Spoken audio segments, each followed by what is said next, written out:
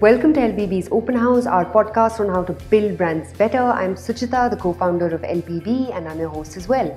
On Open House, I have candid conversations with founders, CXOs, investors behind India's most compelling brands and businesses. Today, I'm in conversation with William Bissell, who's the chairman of Fab India, Fabindia needs no introduction. It's one of India's largest and leading lifestyle brands with over 200 stores across India. In fact, they recently celebrated their 60th anniversary, which is phenomenal. In this episode, William and I talk about how to think long term and differentiate static from signal while building your brand. He gives this really interesting statistic around how the life ex- expectancy of corporates is declining, um, and we dive into what it takes to build brands that can outlast trends. Fab India has evolved a lot over the past couple of years with Fab Cafe, their experience centers, and more. And given the impact that COVID's had on retail, William shares his point of view on what the future of retail is and where lifestyle brands should be investing to reap long term gains. I've spoken to William a bunch of times in the past. His humility and honesty is honestly super inspiring, and you'll hear exactly what I'm referring to over here in this episode. I learned a lot from this conversation, and I hope you enjoy it. Uh, so first off, thank you so much for doing this. Um, I've had the pleasure of interacting with you a couple of times in the past, and I've always learned so much from every single interaction that we've had. And I'm excited for our listeners, uh, you know, mo- many of whom are entrepreneurs actually, to also get a chance at uh, learning from you um, uh, and also, you know, thinking through how they can build their brand better. I'm going to start with uh, with what I hope is the most uh, meta question out of you know what I have planned today uh, which is Fab India. Just uh, you guys just celebrated your 60th anniversary. Congratulations on that. Um, in an age that's so obsessed with you know instant gratification, IPOing in like 15 years at you know crazy high valuations as we saw with Airbnb and DoorDash, how have you guys built a long-term mindset? So uh, you know you as a as a chairman, as a um, uh, you know, as, as someone who, who was at the reins of Fab India, how have you built a long term mindset, uh, both personally as well as organizationally? So, Suchita, you, you're right. You know, uh, when Fab India was created in 1960, the average good company lasted 50 years. Today, the average good company lasts 20 years. I mean, this is a sad fact of life, but that's the life expectancy shrunk. You know, so while human life expectancy is increased, corporate life expectancy is actually shrunk. And and so it's an important question, and it's one that I think about a lot because at, at 60, we should be, you know, in, you know, at, at the end of our lives. But you know, I I feel that the way you you stay relevant is is important um, in in terms of how entrepreneurs and, and people who are setting up businesses and running businesses think about you know their legacy and their future and and that should be done from day one. It's not something you do when you're 20 years old or 15 years old. It should be done from day one and i think it it it, it revolves around um, understanding what it is to have a long-term mindset.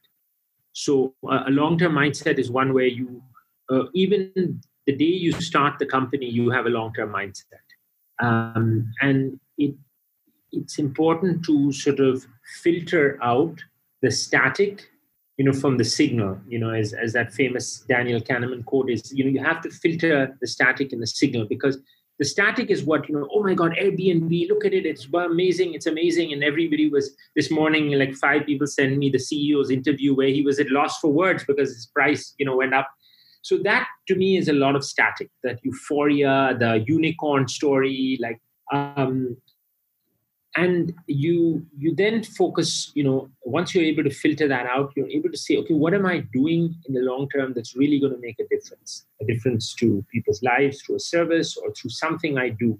Uh, and that is the that is really the the signal. That is the long term mindset. And that's how the business is built. Now you know if you are able to develop that then there's momentarily ups and downs the covid crashes the the unicorn pops, the, these things you're you're able to take them in your stride. if you're not able to do that, then you tend to be you know you, you tend to really lose sight of what the business is about, and eventually the business loses itself.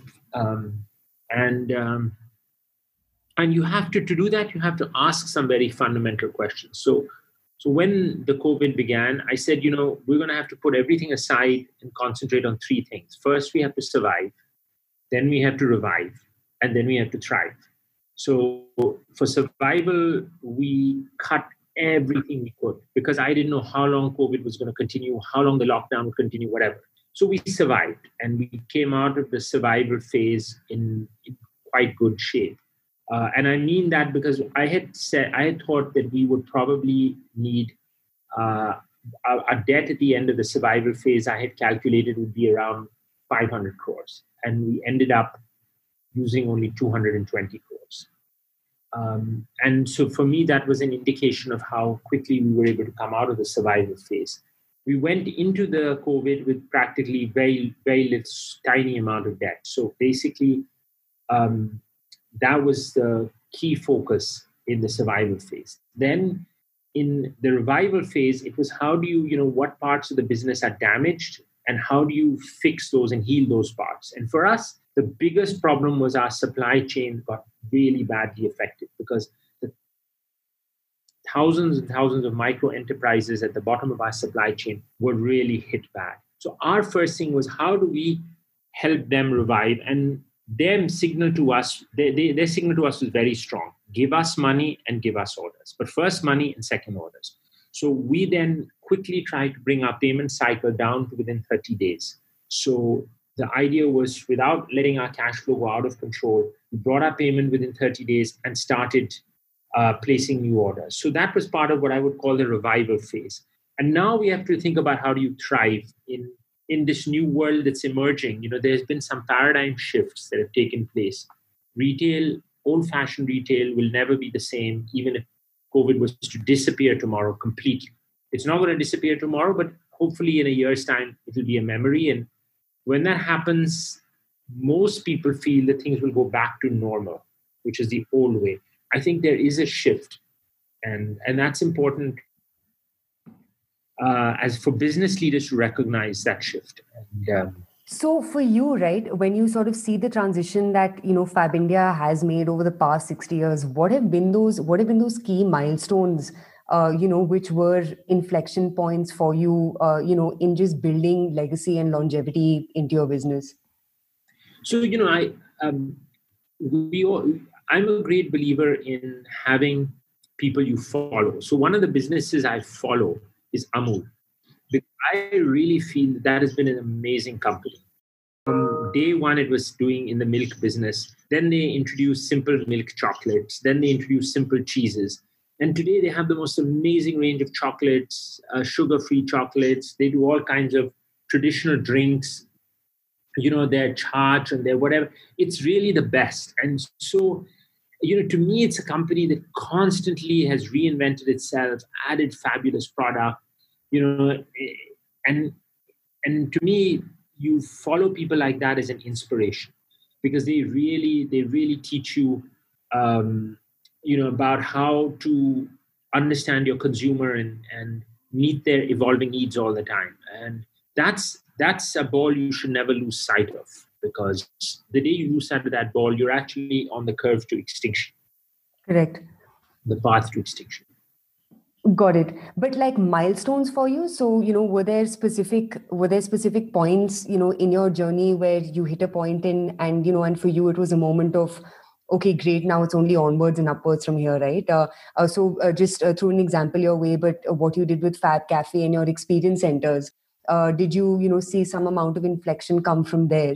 Um, i also read up and, and you work with a lot of local artisan and craftsman communities uh, you know have there been programs that you've put into place uh, that have also helped you sort of you know galvanize the way you think about your company and the way you think about about your growth? So in the past two three decades uh, any particular moments that have you know happened where where it's just helped you you know create that jolt of momentum within uh, and helped you guys you know compound your growth even faster?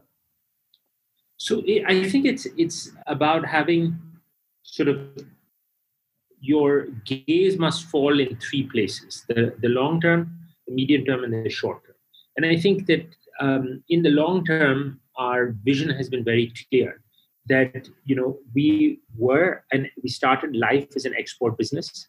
We then became a retail business. And now we are going to become an experiential lifestyle brand and that's where the Tugbug and Fab Cafe and the wellness centers and all that comes in because it's all a part of. That's why our home lines have expanded, become more experiential, more lifestyle. So, and we are also be, going to become a fantastic value-driven online community. So, if you if you were to say, what are your two big long-term ideas? So, one of them is that we're going to become a value-driven community, online community. What does that mean? So a value-driven online community means a community that actually stands for something. So you can be the online environment is divided into two areas, which is very broadly. One is transactional. So a transactional is a marketplace. You go, you, you want to buy an umbrella, you buy an umbrella, you get the best rate, you run a web crawler, you see which site offers you, you know, you want to buy a watch or whatever. That's done. That's just purely transactional. The other part of the the web, which is really interesting, is it's building communities, it's building virtual communities on the web. And you know, user generated content, influencer generated content, it's all part of the communities. It's it's going back to, you know, we humans are really uniquely wired to be in tribes. You know, we, we started our existence as Homo sapiens in tribes. And you know, so like when I read some of these influencer gener these influencers who have such loyal followings, they have a tribe they might have a tribe of 50 followers, 500 followers. So when I say, you know, um, an online, a value based online community, it's a community built around a shared value system. So if you don't believe in the value system, don't be a part of our community. You can be do something else. But if you do believe in our value system what we're trying to do as a brand and what we're, the values we're trying to promote, then join our community. And we are a community. And you know this this idea of course, came to me from several people. You know, one of them was the one. One of them were the founders of Organic India, who really uh, understood this. They saw this a long time ago. But the idea that you have a shared values community is a very powerful theme. It's been in it's been in humanity since the beginning of time, since the beginning of the human experience. So, so I believe that that is our, to use a business word, our key differentiator for the online community and you know one of the most amazing is we have an incredible uh, team who are building this led by aditya ghosh. I don't, I don't know if you know aditya. He started his career as a lawyer and then went on uh, to you know in an amazing uh, built indigo into you know the airline that it is today and then spent some time at oyo rooms. And now he's actually building this a value based community online which is fantastic. I mean i think it's going to be and in, in Fab India, in the retail business, we're actually moving to a lifestyle business. And you know, a, a lifestyle experiential business is, is very different from a retail store. So that's really in terms of a long-term focus. You know, so where and we're positioning ourselves hopefully for the needs and desires of tomorrow's consumer. And that process is underway. In the medium term, actually, our challenge is to clearly improve our ability on execution. Because if there is one area where the company has been weak, and you know, as an entrepreneur, I see it's an area that we haven't done justice to is our quality of our execution. And there, you know, when you look at companies, there are there are some outstanding examples in India of companies that have done execution, you know, superbly, uh, you know, on time, you know, and, and so one learns from those kind of examples and one learns from those examples and and and so that's the medium term focus is to really improve the quality of the execution. Um, and and the short term uh, interestingly the short term focus is to really help build capacities internally with our teams. Because as we move into a new way of doing business people are going to have to enhance their individual capacities and capabilities. And and that's really um, uh, that requires you know behavioral change you know a different way to so these are important uh, things to focus on because if we don't get these right and we have to get all three things the short term the medium term and the long term if you don't get these right then your future is in question I think what's really inspiring about you as a leader and even Fab India as a brand is that you guys have no qualms in reinventing yourself, right? Um, uh, you have absolutely no hangups in changing your mind and in adapting to you know changing times.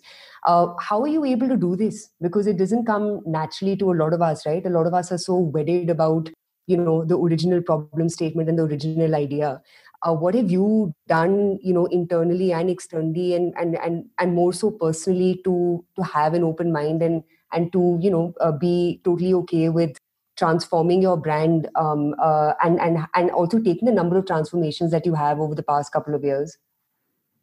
You know i, I think i've seen uh, Suchita, so many brands die which were outstanding brands. And uh, you know it's like every day i visit the graveyard of brands. And i every day i say to myself not yet.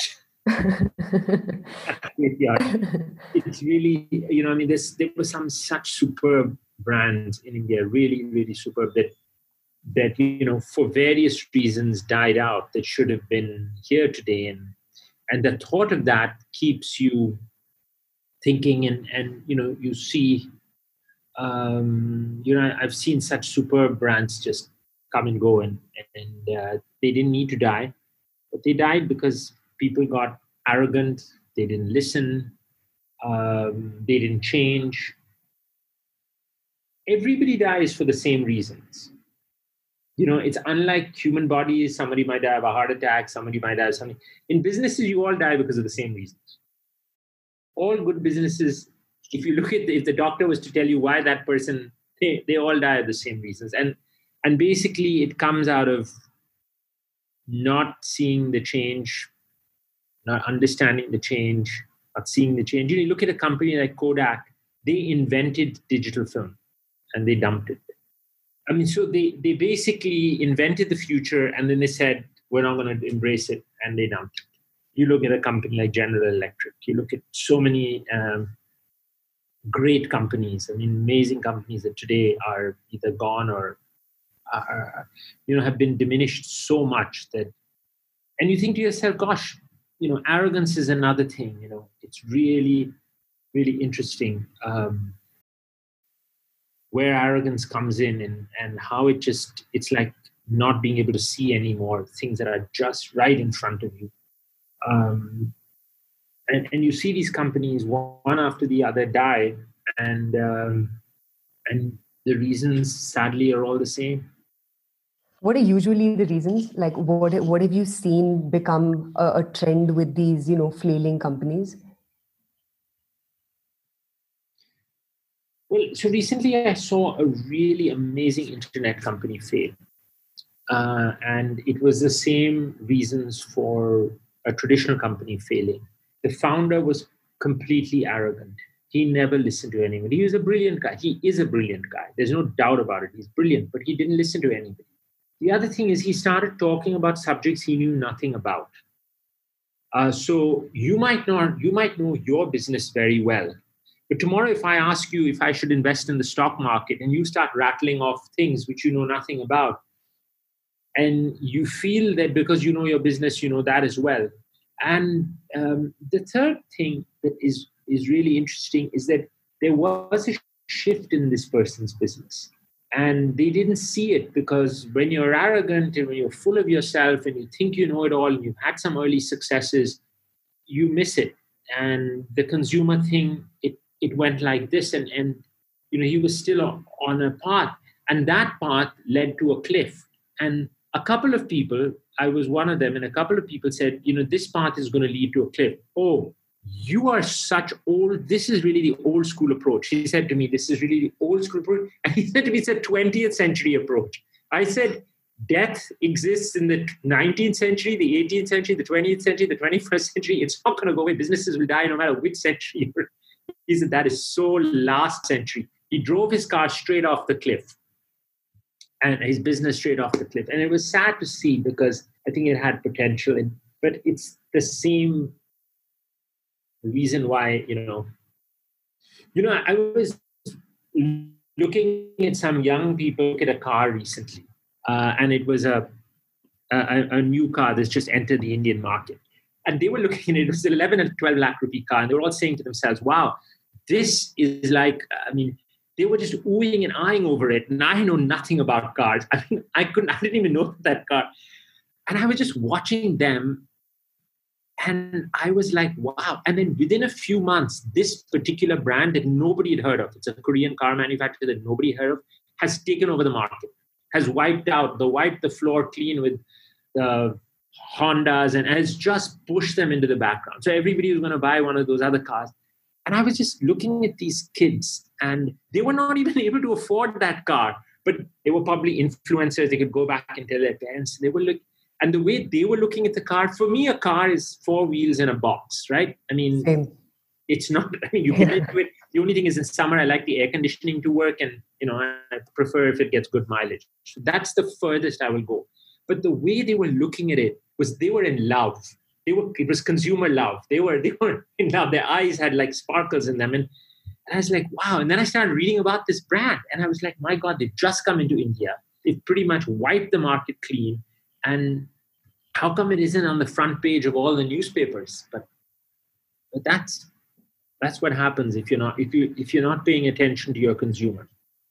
Speaking of paying attention to your consumer, you've seen like two, three decades of consumer habits transform and change, right? Um, like you said, uh, this customer was first, uh, you know, going offline. Um, uh, this customer was buying X type of goods and items, uh, and obviously over the past two to three years, the way customers consume and what they consumed has transformed um, a hell of a lot. Uh, you guys have over 200 stores in every corner of India uh, you've had three generations of customers everyone from my grandmom to my mom to me all of us have you know grown up shopping at fab india uh, what has actually pleasantly surprised you or delighted you about the indian customer over the past couple of years?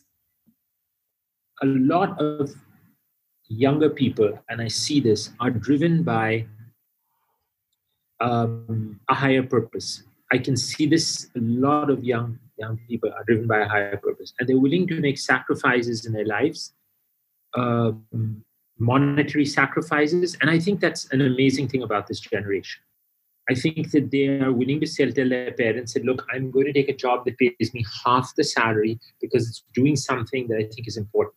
Uh, i see this everywhere. I see it in development. I see it in people working in rural areas. I see it people, people working in you know in, in, in so many areas and they walk away from you know big fat paychecks. And um, you know it's and you know i don't know if you saw that ikigai diagram which was very popular a few years ago on you know purpose and passion and what you're good at and what pays you money. It's a series of interse- intersecting circles.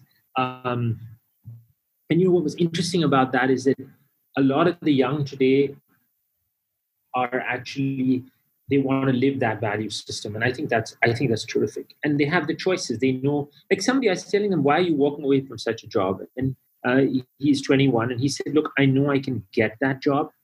He says i know i can get that job. He said i know i have the skills but i want to do something more meaningful in my life. And i thought that was fantastic. So so meaningful is uh, i mean uh, and you've totally hit the nail on the head right? Because now there are also so many more causes that one can align themselves with right? Sustainability being one a fairly relevant cause specifically within you know lifestyle as a category. Um, uh, anything in terms of you know trends or even abilities to spend that has actually pleasantly surprised you? Uh, because fab india as a brand is definitely not cheap, right? Uh, I, would assume you classify yourself more as a masstige brand where uh, the prices are competitive enough, but not, uh, uh, uh but not, you know, perhaps one where you make impulse purchases. Um, how have you? Uh, what is the relationship in between money and customers that you've seen change? Um, and just to you know give you an example, I remember my my grandmother used to go to Fab India for occasion buys right so for your like festival she would go to fab india and buy a sari and I've seen myself, and now you know everything from uh, the mugs that I use in my kitchen to home decor. Uh, more of your everyday buys have started coming from Fab India. Uh, so, how have you seen this customer and their relationship with money, objects, and things uh, change over the past, uh, you know, couple of decades? So, the three changes that have, uh, in a way, surprised me and really caught me off guard, and I think that they happened much faster than I thought they would happen uh, and we we are we are actually behind the curve as a business so the customer has evolved and we're racing to catch up with that customer so in in a, in a way it's it's a weakness that that we we took too long so there are three as i see it mega trends that are happening right now and i'm talking about the I'm not. I'm talking about the middle class customer, uh, the younger middle class demographic. I'm not talking about what's happening with the poor or what's happening with the super rich, but I'm talking about the middle class. Um, one is that the customer is evolving much faster than I than we gave them credit for. Um, they are evolving in sophistication very quickly. Uh, so, for example, there was a big European brand that came to India, and they were like, "Oh, you know, the Indian customer is going to be so amazed. It's the first time they can get our product in India, and and you know, it's going to be great, and like we're doing a favor almost." And yes, for a little while, they were the flavor of the month. But a lot of customers, I noticed, they moved on, and their stores are empty, and and um, and they themselves. I mean, I met some of the people. They're shocked themselves at what's happened. I mean, uh, where's a customer? the, the customers just evolved. So then what they did was they did what a lot of brands do, which I think is a huge mistake, is started discounting deeper and deeper. And yes, you get you get a different demographic coming to you. You don't get the aspirational demographic, you get the demographic that just wants to buy something at, you know, 320 rupees for a dress. So uh, the second thing that's happened, which caught me in a way uh, completely, uh, I, I thought it was going to happen, but it, it happened in it happened in 12 months is the wellness revolution. This country is going through a huge wellness revolution. And you know i, I um, it's it's like people are uh, talking about wellness. They want to have healthy lifestyles they're looking for wellness choices in a way that didn't i mean it, was a mega trend that appeared almost in 12 months and i think covid I think the pandemic has really accelerated that. And, and it's one where we're well positioned because we have a lot of wellness products. We are, in fact, we were caught about two years ago, we made a decision to move entirely out of chemicals in our personal care range. But we thought, okay, we'll do it over time. We have so much inventory in the system. We were moving at a elephant space. The revolution came like this, and we are behind the curve. So now we're scrambling to catch up, and we're bringing in the you know range, which will take you know, it, there's a time lag, so it'll take another six to nine months to come in. But the wellness revolution has been huge, and you can see it in a lot of wellness brands. And, and the third thing is the the consumers are now also looking at environmental footprint in a way the youngsters that is just again i mean i was walking uh, with a plastic bag and uh, a mother was walking with her two kids who must have been, and uh, they pointed to the plastic bag and, and uh, they made a comment about it. And I thought, wow, there's obviously been a lot of sensitization in schools against plastics, against single use plastics. And when you see that really, you see that change really coming. And so I think these are good changes. I think that as businesses, we have to kind of evolve to catch up with the customer. Um, I think a brand that is trendy today can be dead tomorrow. Absolutely. So it's, it's uh, my caution for people about being too trendy is that if you're too trendy today, you might not be trendy tomorrow, in which case, you know, so, uh, you know, one thing that you always say is um, you've always wanted Fab India to be synonymous with trust, right? Uh, and trust is one of those intangible things that can't always be quantified. You can't put a metric on trust. Um, how have you quantified trust or even qualified trust for Fab India as a brand? Um, uh, and and again, I see this across the board, right? Because today there's there's a new direct to consumer brand coming up on a daily basis. Um, uh, but there's a big difference in between going to market uh, and then signaling trust to customers. So, uh, how do you build trust and how do you measure trust at scale? Well, trust is a hard thing because it can take you know a century to build and a week to destroy so all a company has to do is do one thing wrong and during the course of a company's life you're not going to get everything right i mean you know you're taking thousands of decisions but trust is a really important uh, connection um, and and i think that uh, one of the ways in which you um, build trust is by being a fair by being a fair dealer uh, and by being a fair dealer, it means you always take the long view of a relationship. So if if you have a, an interaction with a company as as a customer and you feel that you've been wronged in some way, you know you need the company needs to see the lifetime value of a relationship and often sacrifice the short term. And often our tendency is to say no you made a mistake and therefore this problem happened rather than saying look i understand it from your perspective. You know obviously there are times that customers really do do something completely wrong in which case you call them on it but but most of the time you are in favor of the customer. That's a simple relationship in the relationships with your vendors and the relationships with your employees you know you deliver what you promise on. You know a lot of people you know when it comes to things like esops i've seen so many companies they've they've actually not been true to what they promised their people.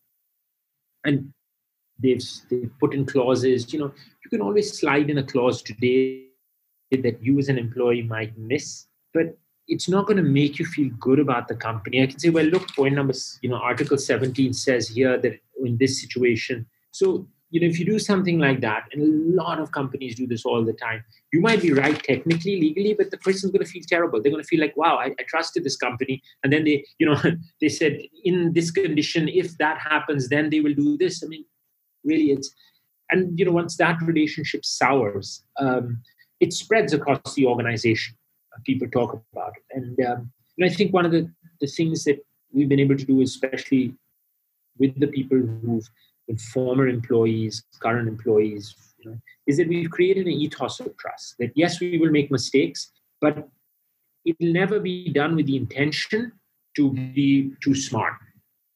I mean, that's I think the basis for trust. And and as an organization right how do you how do you quantify trust? So uh, so when one says Fabindia is a brand that consumers trust right um, uh, you as the chairman of Fabindia what are the are there metrics that you look at to reiterate whether this customer actually continues to give their trust to you or not? Um, that's a very hard one because there's really no kpi there's no direct kpi for trust um, there is a tangential one for trust, which is you know the growth of the brand and the business and and the feeling. You see it often in, in dealings with say landlords. Uh, they pick your brand at a lower rent over other brands that are offering a higher rent. Why? Because they know you're considered to be a fair fair player. So you see it in these tangential ways in, in all these relationships. In in suppliers who say, okay, I know you're in a tight position right now with cash. I know you will always pay your bill. That's a statement of trust. That is someone saying, I trust you. Even though I'm in a vulnerable position, I trust you will make good to me. It, it happens when a landlord gives their property um, at, you know, gives you a third, two thirds of the market rent when people are offering them the full market rent because they trust that you will be fair with them. Um, it happens in many such situations. So you have to watch for those situations and um, and and they are they are actually signaling points on what the market perception of an organization is I want to segue into a whole other conversation now, which is uh, your opinion of where the future of retail is going. Right? Uh, you guys, uh, you, when, you, when you were talking about your long-term bets in terms of building community uh, and also in terms of rethinking your stores and becoming more lifestyle experiences, uh, we've seen a seismic shift in terms of uh, you know just offline retail and even and even e-commerce for that matter, thanks to COVID. Um, and there have obviously been some permanent you know changes that have happened because of COVID, one big one being uh, at least one data point that we see on LBB is that that whole experience of window shopping is now happening online. Uh, instead of it happening offline, right? Um, so that that's one. But what are the other, you know, permanent changes or permanent impacts of COVID, both on the customer as well as retailer front, that you see sort of, you know, continuing even in a post-COVID era? So you can divide that into sort of into uh, two parts. One is the channel strategy, and, and the other is the product. So let me start with the product. I think that it's clear that there are going to be three product streams that emerge. Um, uh, products built around value, like really inexpensive products that people, the mass will buy. Um, and that's really the Primark model.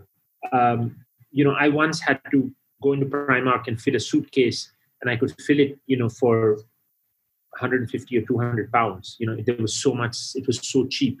So that model is going to really take off, I feel, in the future because there are a lot of people who just, you know, who are on a budget The second trend that is interesting is the trend for luxury, super luxury. And I think that, you know, um, you people are going to uh, want to continue to have luxury because it, it is about making them feel really good about themselves or it is about making someone else feel really good by gifting them something luxurious. Um, you know and um, i think there that is something that's there to stay. And i think the third area which is new is ideology is retail is an ideology. Now what is going out is all your premium sub premium path to premium brands like brands like the gap and you know all, banana, all these brands that were kind of in the middle they're going to disappear in my opinion. And so there'll be three product streams emerging you know products that are really cheap luxury and then ideology. And when i say ideology it's products uh, and companies that represent a higher purpose. So i think these three streams are going to be you know very strong. I see uh, platforms like etsy. If you look at etsy in the us it has been the best performer on the standard and poor's index during the covid. People have really moved to the craft craft because it's an ideology. It's selling it's selling products with a purpose uh, and an ideology. Similarly you know the discounting uh, the, the incredibly great offers walmart has. Walmart's had 79% growth on their web platform. Uh, they are now only second to amazon and they're catching up with amazon as an e-commerce retailer and they're offering an incredible value for money proposition which customers are flocking to um, I think in terms of channel strategies, that any company that doesn't have a good e-commerce strategy is finished. So in terms of channel strategies, you have to. E-commerce is going to become very big.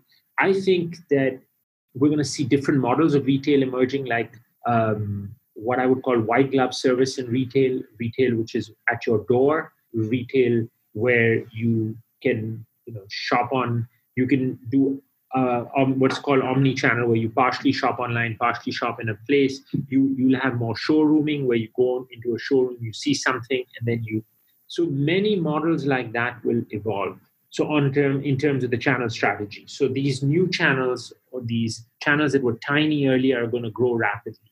I think the idea of having a physical retail space will only be attractive if it is part of a, a broader experience and a lifestyle. So I want to meet you, we meet in a cafe, we look at some product, you try it on, you say it looks nice, but I want to have this taken in a bit and altered. It gets altered, you have your coffee. I think the idea of just going to a rectangular box with stuff, you know, hanging on a shelf is going to die. Could you give um, examples of companies that you've seen do a really good job of this? Um, what's that? Uh, Lululemon has done a fantastic job with the experience centers. Starbucks has been an amazing job with their experience center cafes. Um, other brands that have done a, a, a tremendous uh, job with experiences, gosh, uh, the retailer John Lewis in the UK has done a wonderful job because they have such good quality foods, clothing, you know, and it's built around an ideology and a purpose. So yeah, in India there are not so many. I mean, it's it's uh, it's still a market that, needs to be explored, but there aren't so many right now. What do you think holds Indian retailers back so much? Because I don't think there's a dearth of you know counter examples or counterparts in the US or the UK, right? Uh, is it just that this customers you know purchasing power or, or ability to spend isn't growing, uh, or that the absolute number of customers who can actually buy you know a masstige or semi premium products is not growing? What is holding Indian retailers back? It, it's hard to innovate when uh, your whole ecosystem is very conventional. So your funders are conventional. Your the people who are coming to you from industry have a conventional mindset. So when everybody around you has a conventional mindset, it's very hard to innovate. Uh, and I, I, think it's it's about it's true for any field. See when you hire someone who comes from a conventional mindset and they're used to doing something and they've done it in their last three jobs they're not going to say oh i'm going to come into this job and do something totally different. They're going to say i bring the experience this vast experience and i have to be senior vice president because i bring you know 25 years of vast experience. So i'm not going to change the way i do things and then you have funders who are also saying okay let's look at your traditional kpis and and look at that and and judge you by by those KPIs. So I think that way the environment is is very um, it's hard. The US has one advantage, which is that they allow founders to create different voting rights and shares. So you can have really zany founders with what seems to be wacko ideas, but the market allows them to control the companies through the differential voting rights. So and and um, we have been slow to adopt differential voting rights. Every country is going to have to adopt it. The countries that adopt it first are going to have a huge advantage. The ones, the late adopters, are going to have. Um, and it's sad because today, if you look at, say, Sachin and Binny Bansal, I would say they were as good as Jeff Bezos, if not better. Jeff Bezos had one advantage that they didn't have. He could keep producing equity, Class B shares, Class C shares, Class D shares. So he had limited access to unlimited sums of capital. In hmm. their case, every time they diluted, they lost control of Flipkart. So I'm using them as an example because they're, they're everybody knows them, but there are thousands of such amazing entrepreneurs who lose control and their, their, their businesses become in a way more conventional whatever. But but it wouldn't happen if if entrepreneurs had the access. But um, you know that that's a that's a big change in in policy, and hopefully you know over time it'll come. Uh, but if it came, I'm sure because I, am a great believer. I think India has the best entrepreneurs in the world. I mean, the absolute best. If that change came, nothing could hold India back because its entrepreneurs would because right now uh, the world is awash in capital. The only thing is that with differential voting rights, you're saying that an entrepreneur can get their vision, however, you know, odd the vision might seem, and that's where innovation takes place with those odd visions. Because of every ten oddballs, two guys create history. Eight end up, you know, blowing up the capital. But the system is set up for that. They they recognize that you know, I mean, it's, it's an interesting. Yeah. Uh, so you're an angel investor also, uh, and uh, you know, and, and, an entrepreneur as well. Um, just you know, uh, closing couple of questions. Uh, what is the what is the piece of advice that you that you give to entrepreneurs starting out today? You know, what are the opportunities that you want to see entrepreneurs double down on? Um, and and also, what are the what are the mental frameworks or the mental models that you want to see entrepreneurs adapt to build their brands better? I was an angel investor. I stopped, and I stopped for the simple reason that uh, it, it, was a very uh, painful process to see so many businesses fail. Um, and my advice to entrepreneurs is don't get out of business school and start a business. Work, do something really, really difficult, work in a difficult area, um, and cut your teeth and understand the value of work and because it's very easy Suchita to sit in business school and create all these pitch decks with these options and uh, you know and people get seduced by uh, all these things. Oh I, will do a, a, convertible and i'll do it like this and i have a put and call option. And and everybody gets like wow this is like such fun. We can keep raising money and having rounds. And it's like a you know it's it's a substitute for hard work. And i know i sound really boring but almost every one of those entrepreneurs who came out of business school and set up uh, a business has failed for the reason that they just didn't have the humility that comes with they were smart. They were super smart because they got into great business schools and they're really hard. They're they're they're far brainier than than me or most people i know. But there's something that comes from just doing the grind in, in and working your way up and then becoming an entrepreneur. Last, no, totally fair. Last two questions for you. The first one is uh, what are the Indian brands that are in your little black book uh, and Indian brands that you've tried and you, you know, hands down recommend everyone? Gosh, there's so many great brands. Um, I think a brand that's phenomenally innovative and, and great fun is Nicobar. I think they've done a fantastic job. Um, I think, gosh, uh,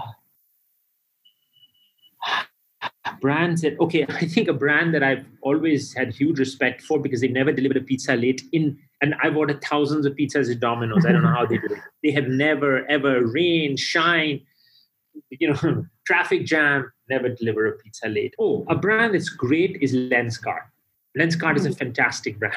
You call them they arrive you get your glasses they wear their ppe suits and you know it's they're on time another great there's so many innovative uh, brands that um, you know, one has.